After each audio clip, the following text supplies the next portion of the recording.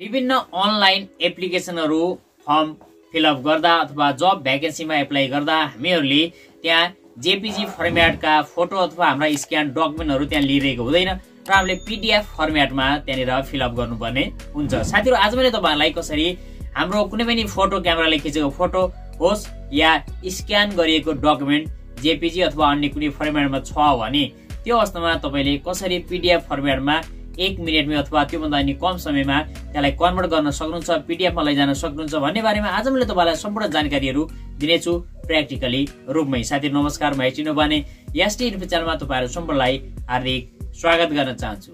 साथीहरू लागौँ प्र्याक्टिकल रूपमै मोबाइल स्क्रिनतर्फ साथीहरू तपाईँहरू सबैभन्दा पहिला यो वेबसाइटमा जानुहोला। आई लभ पिडिएफ डट कममा यसमा गएपछि तपाईँले यस्तो खालको इन्टरफेस यहाँनिर देख्नुहुनेछ। यहाँनिर सिलेक्ट इमेज भनेर अप्सन देखाएको हुनेछ।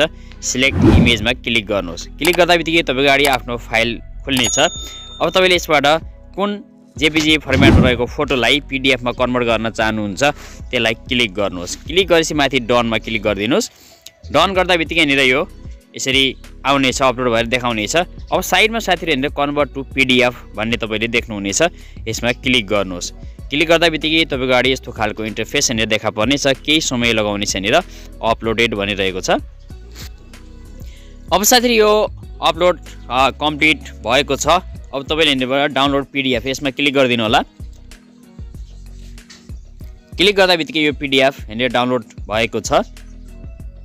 अटोमेटिक खुलेको छ। साथीहरू यसरी तपाईँहरूले कुनै पनि जेपिजी फर्मेट रहेको डकुमेन्टलाई पिडिएफमा कन्भर्ट गरेर यसलाई बनाउन सक्नुहुन्छ। साथीहरू तपाईँहरूले यसमा जब ब्राउज गर्नुहुन्छ फाइलमा सिलेक्ट गर्नको लागि त्यो अवस्थामा तपाईँले एकभन्दा बढी पिडिएफमा बनाउनको लागि एकैचोटि यसरी पनि सिलेक्ट गर्न सक्नुहुन्छ।